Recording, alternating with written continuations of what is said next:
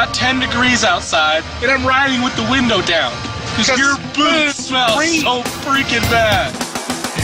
Gabe Smith is riding shotgun and hosting three friends from the Midwest for a once-in-a-lifetime vacation in Vail, Colorado. One of the most prestigious ski resorts in the world. Not quite there yet. His buddy Matt Carney is here for the first time. Oh, Carney taking a break.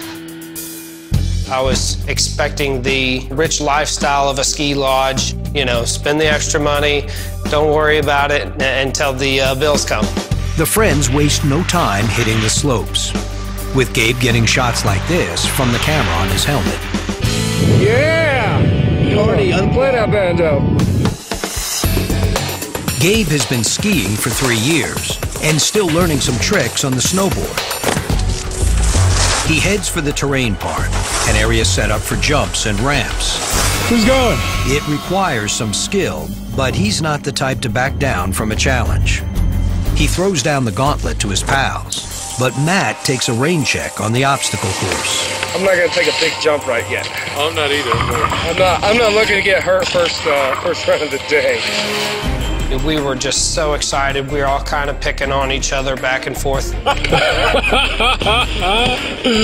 Everybody's, hey, if you're not the tough guy, then, you know, what are you doing here? Why did you come? kind of thing. Just so you know, I'm filming right now and getting all of you guys talking like old ladies.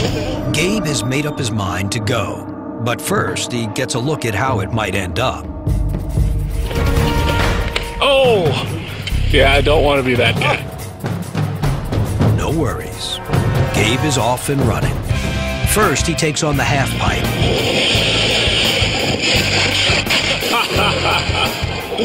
a little rough, but not bad for a newbie. Then he tries a ramp jump or two.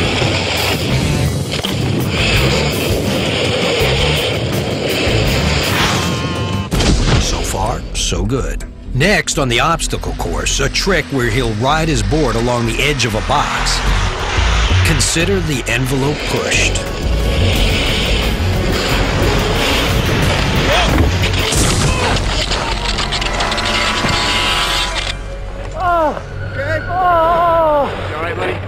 I didn't see Gabe directly fall.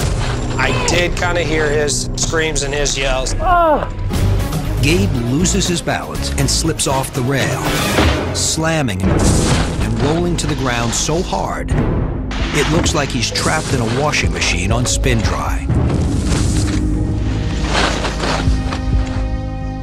What do you need, brother? Matt picks up the fallen camera and keeps it rolling as their friend Matt Graves leans over Gabe. Oh, my lower back. Okay. I don't know yet. There's still a concern, you're still worried, but you're thinking he had a normal, typical fall. Gabe is racked with pain as he lies on the ground, Did you hit me on the edge of that thing, man? and no one has any idea of the damage done to his spine. Can we get some help? Got an injury. At this point, we can't really help him. He's calling on somebody else of higher expertise to help take care of him. He's a lot more serious about it than what maybe we had first anticipated. The ski patrol arrives and Gabe is put on the sled and carried downhill, and then to a hospital. His friends stand by, waiting for any word from the doctors. It comes hours later in a text message. letting us know that he had um, crushed his L2 vertebrae. A vertebrae means, hey, are you paralyzed? Did you break your back? You got a million questions, but you know you can't text him back and, and find out the severity of everything at the moment. Gabe's friends head for the hospital hoping for the best, and they bring along the camera.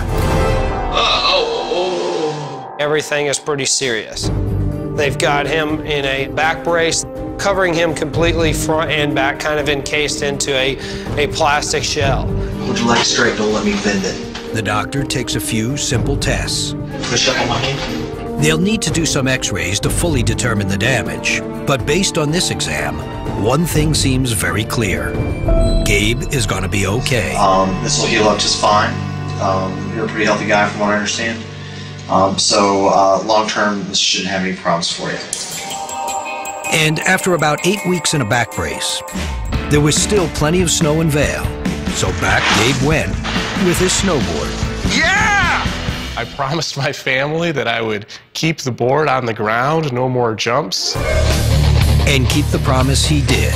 No repeat performance of this stunt for Gabe.